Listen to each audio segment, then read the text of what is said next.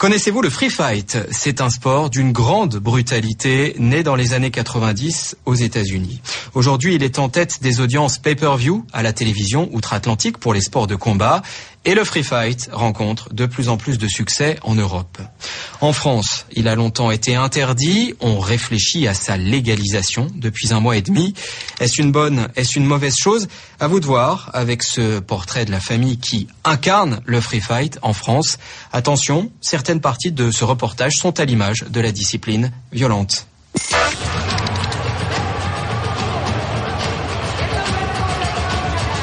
C'est l'enceinte du combat des gladiateurs de Tokyo, le Pride. 50 000 spectateurs et un Français sur le ring. Bertrand Amoussou, venu défier les meilleurs mondiaux de ces combats de l'extrême, ceux du free fight. Une discipline née il y a 15 ans aux États-Unis. À l'époque, des combats sans règles, sans limites, juste pour savoir qui est le plus fort.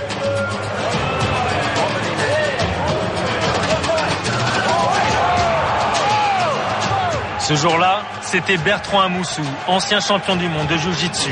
C'était en 2004. C'est lui qui allait porter cette discipline du free fight en France.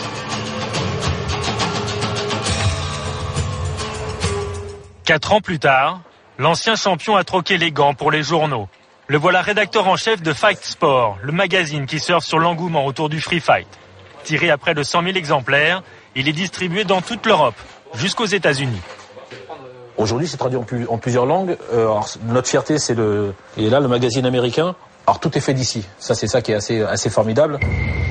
Pourtant, en France, le free fight est un sport qui a mauvaise presse. Trop violent, trop de blessures, pas assez noble, et surtout le souvenir des premières années du free fight, où tous les coups étaient permis. On oublie de, de regarder l'évolution qu'a pris cette discipline pour se transformer en sport. Donc on reste sur les premières images, qui sont des images brutales, très violentes. On n'est plus à 93, on est en 2008. Il y a énormément de travail qui a été fait. Et s'il y a cet engouement-là ailleurs, c'est parce que ce travail a pu être fait. Il n'y aurait jamais cet engouement si c'était resté euh, la boucherie que c'était à l'époque. La France est le dernier pays européen à avoir levé l'interdiction du free fight. C'était fin janvier 2008. Dans la ligne de mire, la création d'une fédération afin d'organiser des combats officiels dans l'Hexagone. Bertrand Amoussou est pressenti pour la présider. L'embryon de cette fédération pourrait naître ici, dans ce petit club de la banlieue parisienne. Voici le poulain de Bertrand, celui qui pourrait redorer l'image du free fight en France. Tu rentres, tu mets ton poids du corps dans ton. Relâchement, vitesse, poids du corps dans le trou. Il a 22 ans, profession agent de police, prénom Karl, son nom Amoussou, le petit frère de Bertrand. Aujourd'hui, c'est le dernier entraînement avant le tournoi d'Amsterdam, une compétition par équipe qui fait le tour d'Europe. Aux côtés de Karl, ils seront cinq à défendre les couleurs du club face à l'une des meilleures équipes du vieux continent. Elle est russe, la Red Devil. Tant mieux, tant mieux, tant mieux. Ça fait longtemps qu'on attend notre, notre heure, donc euh, maintenant on va la saisir. My name is Psycho. I'm gonna show you who I am. I hope you're ready. I'm gonna finish you. Le jour J, dans la banlieue d'Amsterdam, les passionnés du free fight sont au rendez-vous du M1 Challenge, la compétition majeure en Europe. 55 euros la place, un prix qui n'effraie pas ces filles ou garçons, moyenne d'âge entre 20 et 30 ans, tous rivés devant 8 heures de sport-spectacle, 8 heures de combat, de free fight. J'adore le combat, j'adore le chaos. Ouais, vous pouvez faire ce que vous voulez. C'est pas comme la boxe taille. Ouais, c'est ça, pas comme la boxe taille. Et c'est cool. Ils sont 5000 dans les gradins, mais plusieurs millions devant leur téléviseur.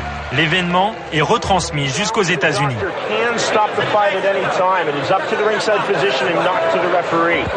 L'an passé, le Free Fight a décroché 6 des 10 meilleures audiences de sport de combat sur les télévisions américaines. Cet événement en Hollande, le M1 Challenge, c'est pour une distribution internationale. Il sera diffusé dans le monde entier. États-Unis, Russie, Allemagne, Asie, surtout au Japon et en Corée. Et maintenant que le free fight a été légalisé en France, j'espère qu'il sera aussi vu en France. Je ne suis pas le gars qui gère l'argent, mais je sais que c'est une entreprise énorme. Cela génère des millions et des millions de dollars pour porter cet événement à l'international. L'enjeu n'est pas le même dans les vestiaires. Chaque combattant gagnera 1500 euros ce soir-là. Pour Karl et ses comparses, l'enjeu est ailleurs, juste sortir de l'ombre. H-1 avant d'affronter les diables russes de la Red Devil. Dernière minute de concentration pour les uns, derniers échauffements pour les autres, dernier rappel surtout des règles pour tous. Quand on est debout, on a droit à la frappe au corps et au visage, sauf qu'on n'a pas le droit au coup de coude visage, mais coup de coude au corps permis. Et euh, debout, coup de genou permis au visage. Dès qu'on va au sol, les coups de coude, euh, les, coups de genou sont plus permis euh, à la face, ni les coups de pied à la face.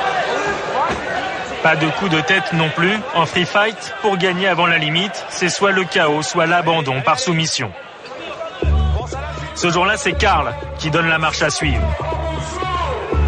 Il ne le sait pas encore, il va combattre sous les yeux de Monsieur Shinoda, le représentant du Pride, la compétition phare de free fight au Japon. Deux rounds de 5 minutes pour convaincre.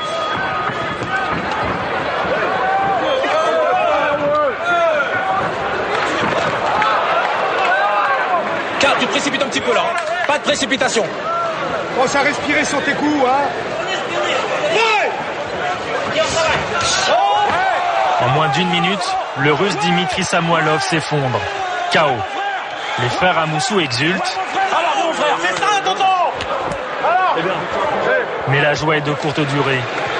Le russe reste à terre, sans connaissance.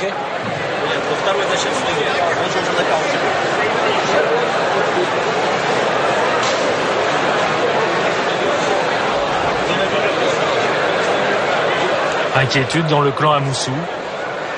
Geste d'impuissance après avoir montré sa force. il se réveille, il se réveille. Il se réveille, il se réveille.